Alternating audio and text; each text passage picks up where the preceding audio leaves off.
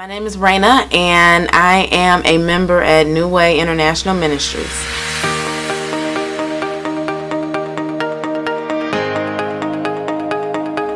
And you know, kind of when you're praying for things in your life, you don't know exactly how it's going to manifest, but you just kind of have the faith that it will manifest.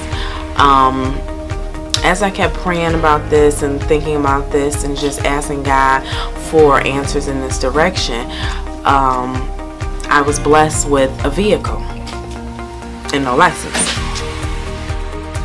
So it's like God is just saying, I got you. Um, keep being faithful to what you believe. Keep praying. Never lose sight of your focus and the plan that God has for your life.